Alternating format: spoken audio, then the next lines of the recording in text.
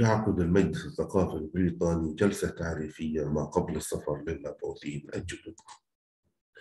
ما هي الوثائق المطلوب تسليمها مع طلب التقدم؟ يجب على المتقدمين تزويد المجلس الثقافي البريطاني في الأراضي الفلسطينية المحتلة بالوثائق التالية.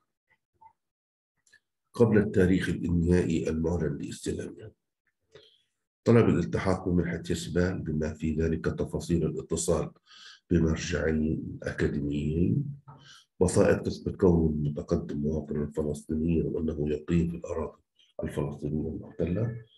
رسالة ترشيح من جامعة فلسطينية. دليل على كون المتقدم موظفا في جامعة فلسطينية.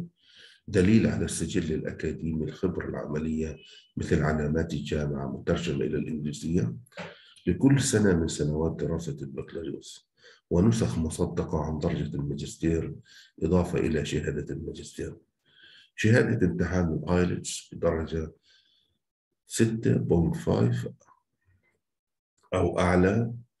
ده لاحظنا إنه دائما ال IELTS بيطلبوا درجة ستة ونص وأعلى دائما تركيزنا لما إحنا نقدم امتحان ال IELTS إنه يكون عندنا درجة من ستة ونص واعلى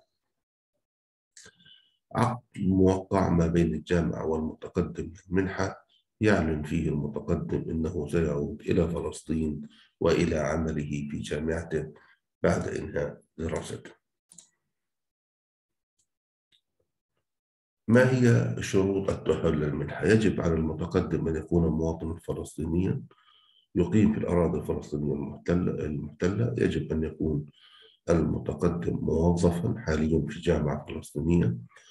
تقوم بتشغيل المنحة ويجب أن تكون هذه الجامعة واحدة من الجامعات الفلسطينية المشاركة المذكورة أدناه يجب أن يكون المتقدم الحامل لدرجة الماجستير من جامعة فلسطينية بمعدل جيد جدا. على الأقل أو درجة بكالوريوس بمعدل لا يقل عن ثلاثة point في الجامعات البريطانية بما يعادل معدل 80 في الجامعات المحلية. لا يوجد سن معين عند تقديم الطلب. موقع ما بين الجامعة والمتقدم بالمنحة يعلن فيه المتقدم أنه سيعود إلى فلسطين وإلى عمله في جامعته بعد إنهاء لدراسته. يجب أن يكون المتقدم حاصلا على شهادة امتحان IELTS بمعدل يؤهله للبرنامج الذي يريد الالتحاق به وللجامعة التي يتقدم لها عادة ما يشترط أن لا تقل الدرجة عن 6.5 ستة ونص وقد تطلب وقد تطلب بعض الجامعات معدل الأعلى. للتقدم للبرنامج على كل متقدم أن يتواصل مع منسق الجامعة المذكور في القائمة أدنى.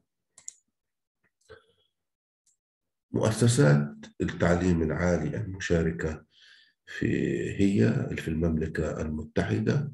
طبعا عندنا جامعة إسكس ساوث كلية لندن جامعة ساسكس King's College London Oxford Brookes Brookes جامعة نيوكاسل جامعة لينكولن جامعة نوتنغهام والعديد من الجامعات المرموقة في بريطانيا.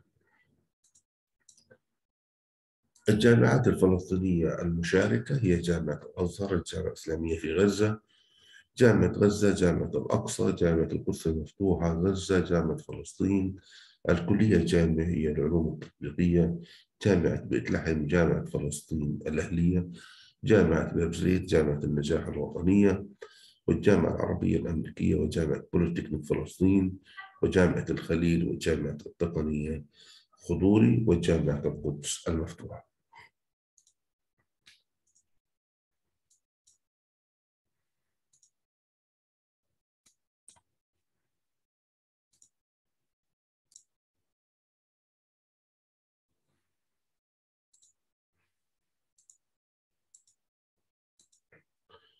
أما من ناحية تفاصيل الاتصال هنا طبعا جامعة الأقصى.